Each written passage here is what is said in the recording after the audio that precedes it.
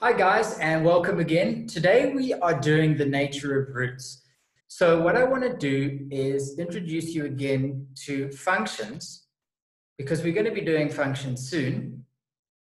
And so the nature of roots ties in very strongly with uh, functions. And usually the nature of roots question is more likely to come up in a functions question rather than in paper one. So let's look at a quadratic graph. Okay, a parabola. So this would be an x squared graph. Now, if we look at this graph, we have two roots. two roots here.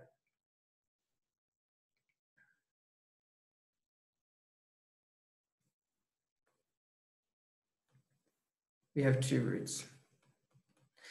Now imagine that we shift this graph up to the x-axis. Okay. I haven't drawn the x, okay, so that's the x-axis and we'd have a y-axis as well.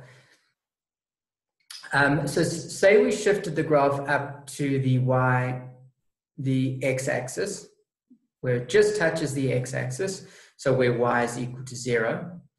Well, what we've got is just one root.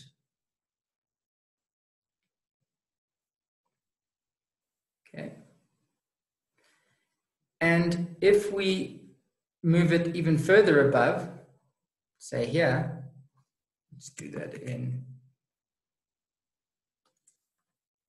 we have no roots.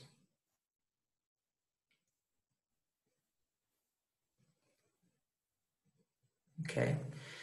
Or we could call this non-real roots. Because in AP Maths, we use imaginary numbers to actually solve these roots. But for normal matric maths, we just say that they're non-real roots. So if this, what we see the, with the pink, where there's one root, well, that means that it's basically just touching the x-axis. So if you had a perfect square and you got two answers that were exactly the same for your x roots, that would be the pink. So let's look at our quadratic equation because when we solve for our roots, we can use the quadratic equation. so if I had y equals something x squared plus something x plus c. So it could be um, ax squared plus bx plus c.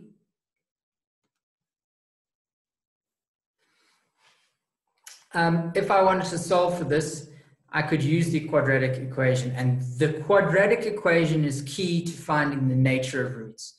So when you're asked about the nature of the roots, you must think about the quadratic equation and specifically the part of the quadratic equation that comes underneath or inside the square root. So if I have, this is negative b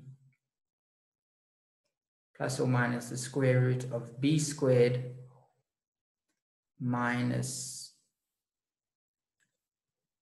4 AC.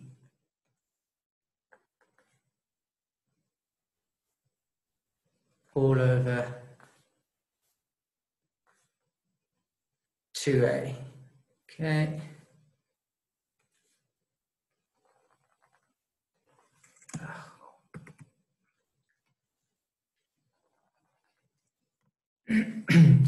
okay, now this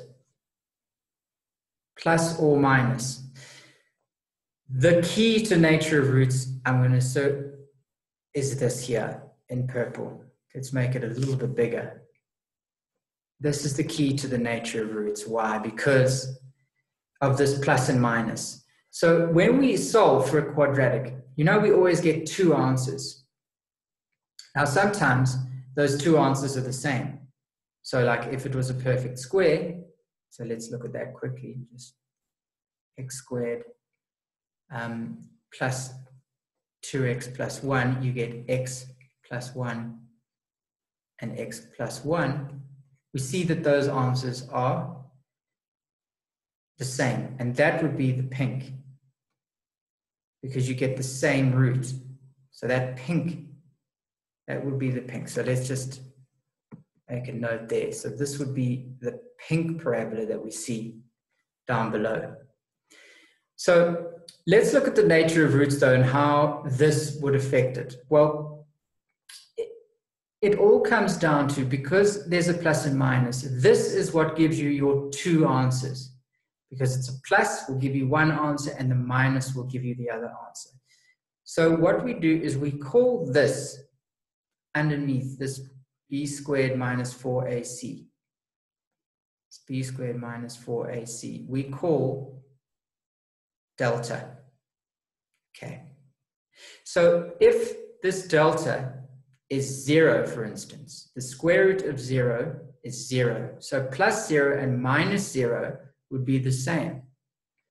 So if b squared minus 4ac is equal to zero, so if delta is equal to zero, we get the same answer. So we get one root. So we get equal roots.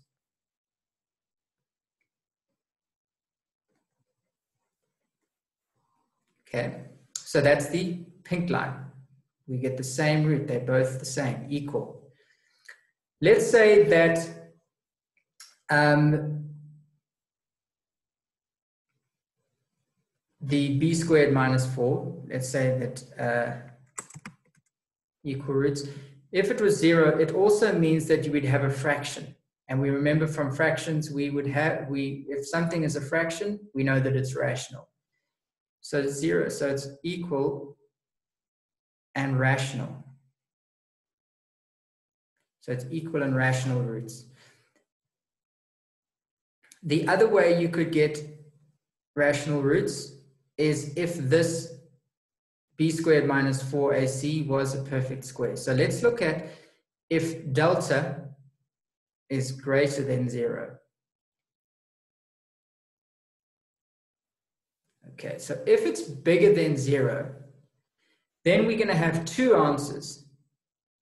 And they're going to be either rational or irrational, depending on if this b squared minus 4 is a perfect square. Because if, say, this was 25, the square root of 25 is 5, and so we'd get a nice fraction. But if it was 17, we get a surd, which is irrational.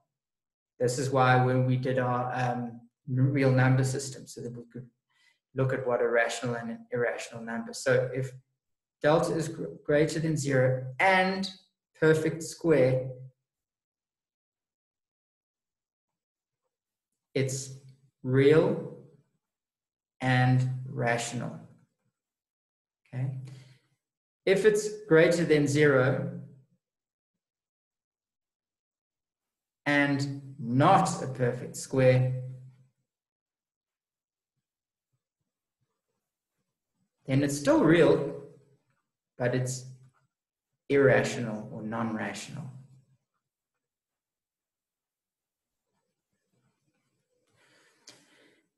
And finally, what happens if delta is less than zero?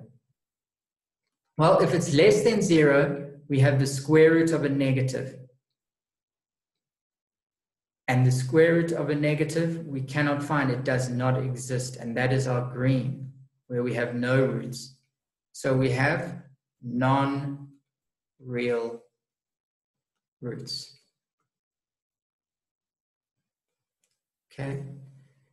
So what I should have done is this should be in white because this was the white parabola where we had two roots. Okay, so that is the nature of roots. Hopefully you understood everything. Um, the next section we're going to be doing is logs, and then we are done with algebra.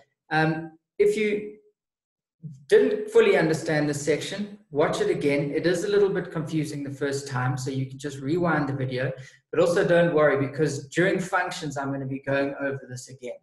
So we'll be doing the roots and then I might refer back to this video, but we will do it again. So don't worry, if this video helped you, please uh, find the subscribe button below and, and of course uh, share and like and all that good stuff. And I will see you for logs. And after that, we'll be uh, going on to sequences and series.